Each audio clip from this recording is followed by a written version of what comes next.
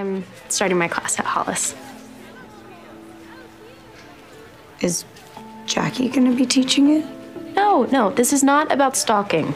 If Ezra says it's over between them, I believe him. So what, you're just gonna hang around campus with binoculars? I'm following our therapist's orders on having separate time, okay? It's an extension course. If I happen to bump into Ezra, that's just a bonus.